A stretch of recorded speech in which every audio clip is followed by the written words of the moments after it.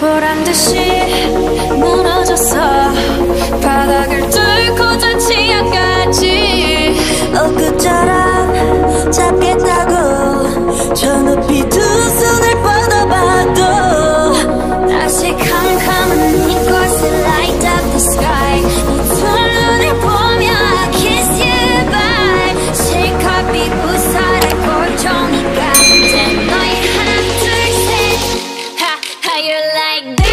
Jumpa lagi di channel Mama Linda Cantik. Di edisi kali ini Mama akan membahas tentang kotak soflen. Yeay. Ini kotak soflen kok gede banget, Bun. Jadi ini adalah satu set kotak soflen yang lucu sobat sekalian. Jadi isinya ini satu set peralatan soflen sobat sekalian. Lucu banget ya. Ini modelnya Hello Kitty. Unyu banget. Jadi mari kita intip ya apa saja isinya dari satu set peralatan soflen ini sobat sekalian. Ayo langsung aja kepoin sobat sekalian, ini sudah mama keluarkan dari plastiknya ya. Sekarang mari kita intip isinya apa sih dari satu set peralatan softland yang lucu ini. Oke langsung aja.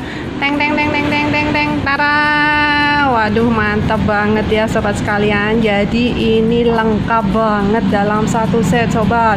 Selain itu ada lagi yaitu ada kacanya. Loh, ini kaca ya sobat sekalian. Jadi mantep banget. Jadi kita nggak usah bingung-bingung cari kaca nih.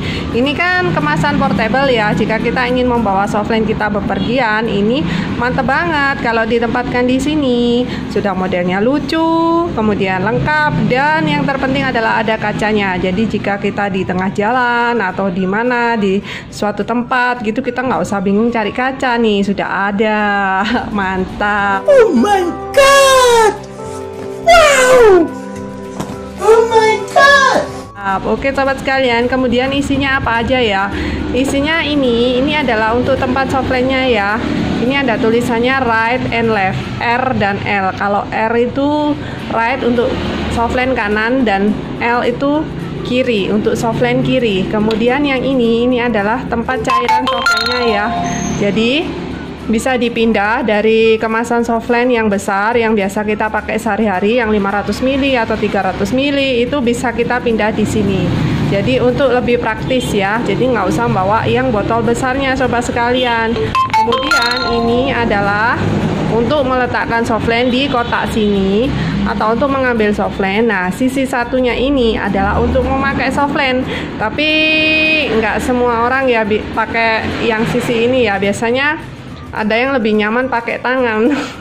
Pakai softline-nya lebih nyaman pakai tangan. Tapi kalau misalnya lebih nyaman pakai alat ini ini jadi softline-nya diletakkan di sini kemudian diginikan ke mata gitu ya. Yang nggak apa-apa ya. Jadi semua tergantung selera ya sobat sekalian. Kemudian ini ini adalah untuk meletakkan softline-nya ya. Jadi letakkan di sini atau untuk mengambil softline-nya itu bisa juga. Jadi mantep banget ya. Satu set ini sudah lengkap.